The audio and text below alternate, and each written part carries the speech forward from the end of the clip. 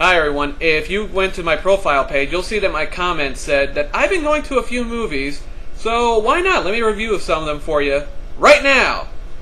Uh, first movie I've seen during my volley of movie going experience thing, yeah, was Paul Blart Mall Cop, and this stars Kevin James as a New Jersey mall cop during this Die Hard esque invasion. And I knew it was gonna be stupid, but I thought it was gonna be fun stupid, so I said, hey, let's go watch this. I was half right and then I was half wrong. It is funny stupid.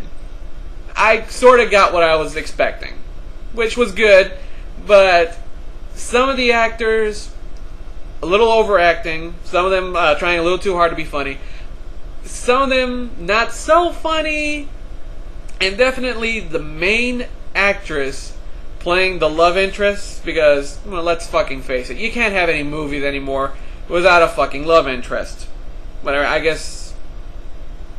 I don't know. I, I'm not even gonna begrudge it for that. But really, the actors they played, they picked for this thing, wooden as all hell, very bland, very uninteresting. She had really no emotional range. She had one friggin' emotion and one friggin' expression, by the way, was her mouth like half hanging open like the whole time. It's like, like Jesus Christ, lady! Like flies can make fucking nest in your mouth. They don't. It never fucking closes. And, and anytime she's on the screen and like it's focusing on her a scene, it just drags on. It's fucking abysmal. Uh, and also the story, like I said, I wasn't expecting much, but it really felt like it was falling apart towards the end.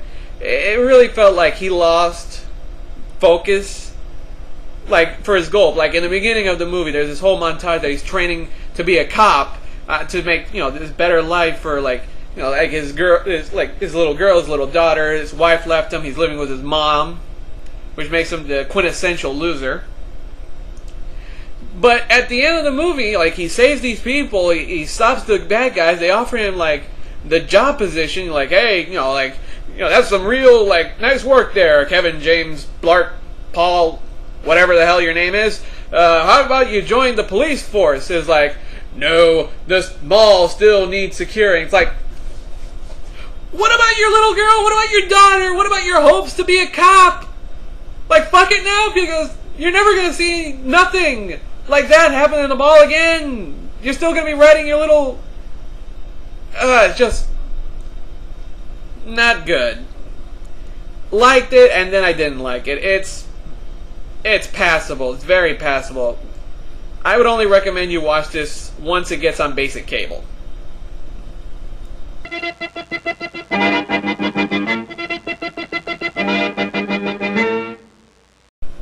Next on the movie list, it's going to be Yes Man. It's the Jim Carrey movie where he basically says yes to everything after going to the self help seminar. I liked it a lot better than Paul Blart Mall Cop, I'll tell you that much. Not a spectacular comedy, but a decent, all around good comedy. Yeah, that's pretty much it. I would I would recommend Yes Man. I would recommend the rental when it comes out. If you have a bunch of friends and you're bored on a Friday night, go see it in the theater. I think it's still in the theaters. Probably not. Wait for the DVD and rent it. It's good. It's good. I really can't say much about a movie that's like actually all around decent. Not great, but it's decent. Give it a shot. Yes, man, thumbs up.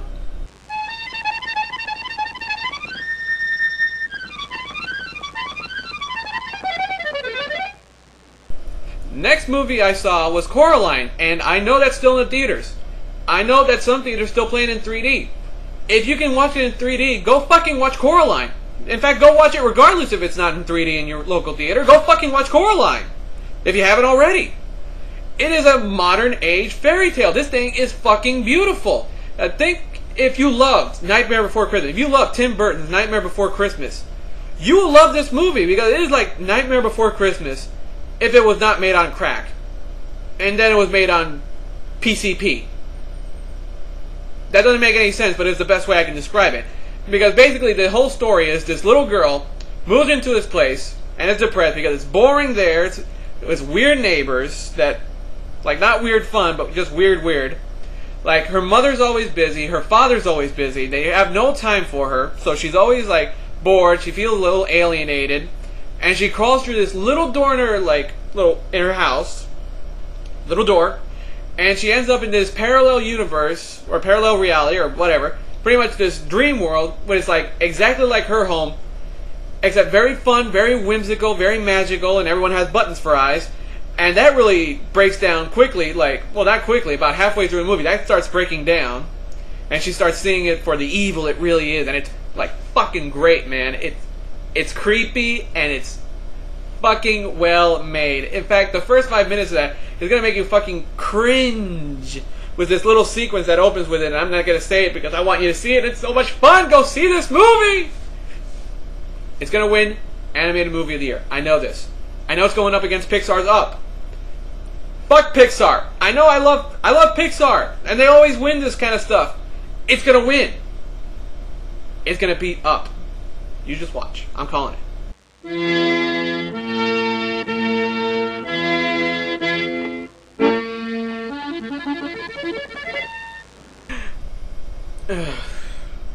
the next movie I saw, man, I, I, saw a great movie and then I saw the worst movie I'd probably seen in years. Street Fighter: The Legend of Chun Li. Why did I see that movie? I never saw trailers for it, so I didn't know what I was expecting. I didn't even know what was coming out that day.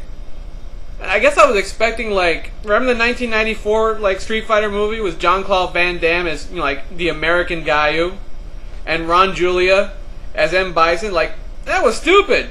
But it was so stupid it was funny. That's what I was expecting.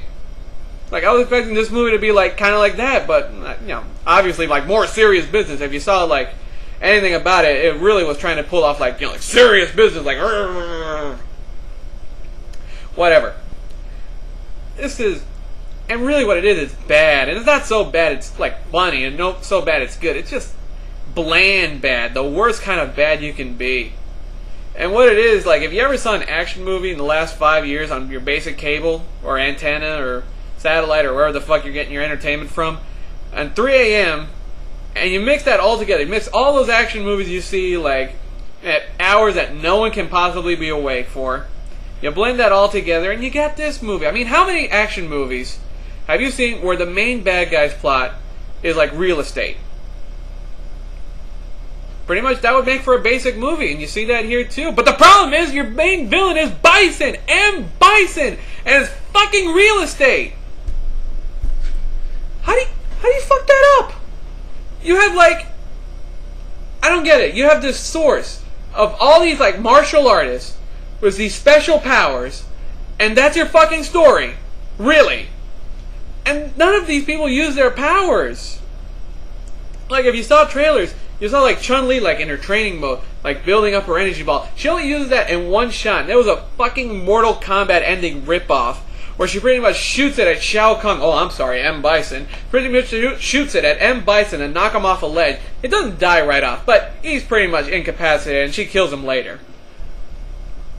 Actually, I can't even remember how that movie ended. I think I'm trying to block it out of my memory. Thank God no one was worth watching in this movie. Well, that's not true. Michael Clarke Duncan as Balrog was pretty fucking awesome. In fact, it kind of tricked me in the beginning of the movie when he came in. Like when he smashed in through the window and you see Chun Li's father go like, Balrog! And then you see Michael Clarke Duncan like look at the screen and go like, yeah, fucking awesome! And then M. Bison comes in. It's like, fucking shit! You know, when I saw M. Bison, I thought he was Vega. And when I saw M. Vega, when I saw Vega, I thought it was Casey Jones from the Teenage Mutant Ninja Turtles because his mask was fucking huge. Like it looked like a hockey mask, and his claws were fucking huge too. Like they look like like machete. They don't look like elegant like little like claws.